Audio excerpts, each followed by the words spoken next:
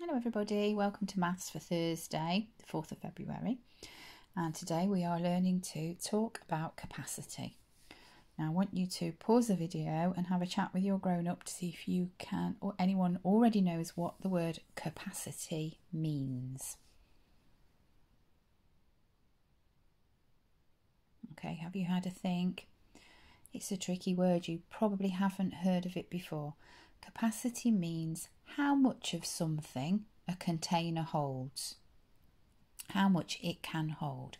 So, um, you can talk about capacity of a room, how many people you can fit in there, the capacity of a lift, how many people you can get into a lift. You can talk about the capacity of your bath, how much water your bath holds.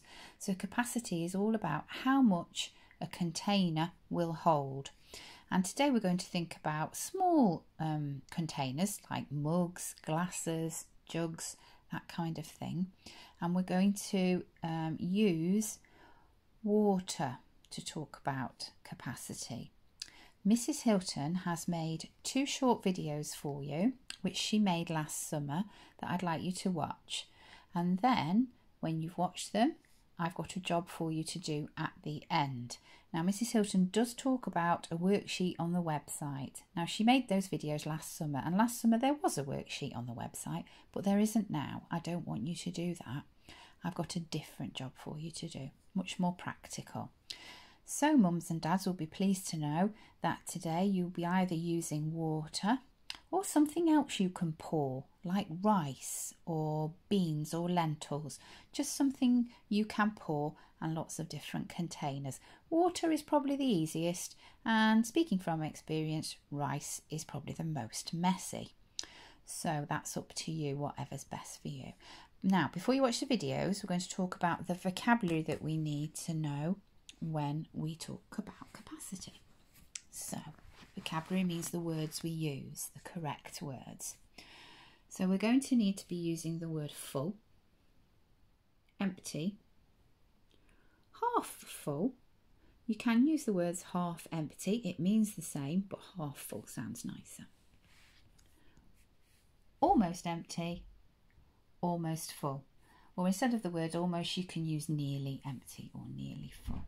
Okay, so they're the words you're going to need when we're talking about capacity. That's the vocabulary we're going to use.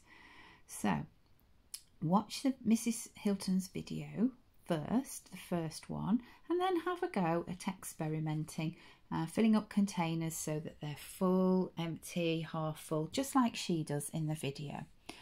And then when you've watched the second video, have a go at choosing lots of different containers and predicting. Remember, predicting means having a sensible guess, or in maths, we use the word estimate, which is exactly the same, sensible guess.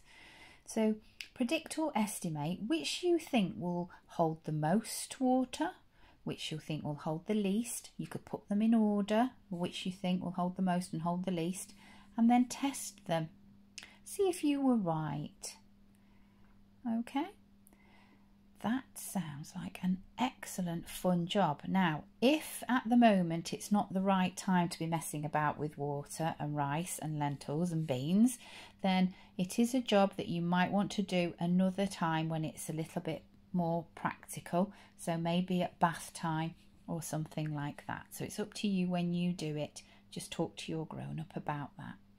Okay, so remember you're going to use all of these lovely words when you're talking about capacity and you're going to be doing some estimating, which means predicting and having a sensible guess about different containers. So have fun, uh, play around with them, let me know how you get on. Remember, don't go looking for the worksheets that Mrs. Hilton talks about because you won't find them, they're not there anymore.